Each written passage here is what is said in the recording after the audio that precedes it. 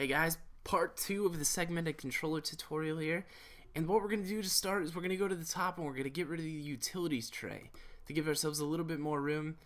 We're going to scoot this over and now that we have everything established in the header file, we're going to switch over to the implementation or the source code in which we're going to tell the segmented controller to control the image view and show what's on screen with what we programmed from behind the scenes. And so if you see there's a bunch of gibberish in between here, you don't have to worry about that. We're basically looking for our IB action that was established when we hooked up the image selector. And so you can see down at the very bottom we've got an IB action. It's called image selected. And that's what we named it.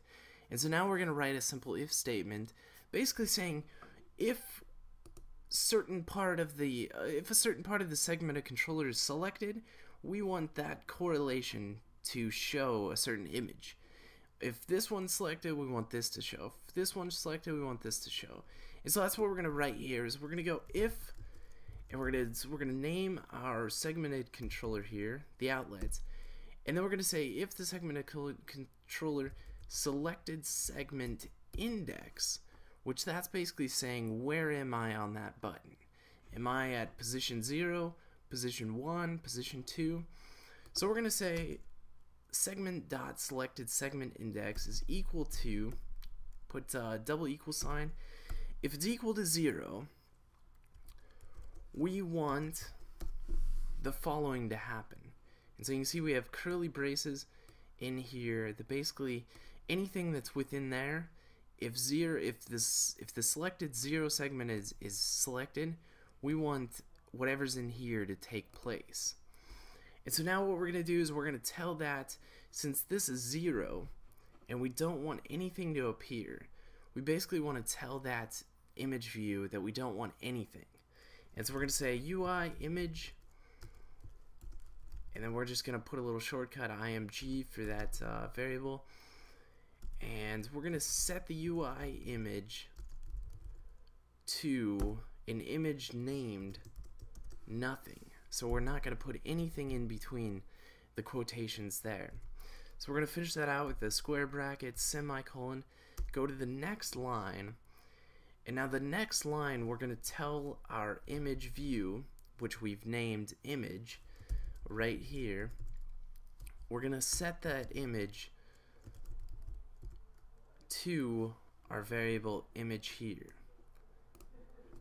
So img finished out with square brackets and hit a semicolon. Okay, so we're done with the first segment. So we're done with this none over here. Now what we have to do is we have to write another if statement for the first segment, which is the green, and then also this, the second segment as the blue. So I'm just going to copy and paste that if statement we just wrote. And the only two changes that we have to make is we have to change the segmented index. So in this case, we're going to say is 1, and then in here, we're going to name the image that we have in our supporting files. So the, the image that we brought in was called my bring back arrows. And for the segmented one, we want the green image, so we're going to type in green.png. Alright, so we're all set for the green image. The next thing that we're going to do is copy and paste it for the second segmented index and we're going to change the segmented index and the name of the file which is just my bring back arrows.png and that's what we've put in there.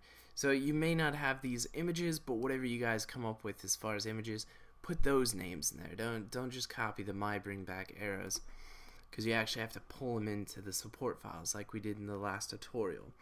So that is that is the setup.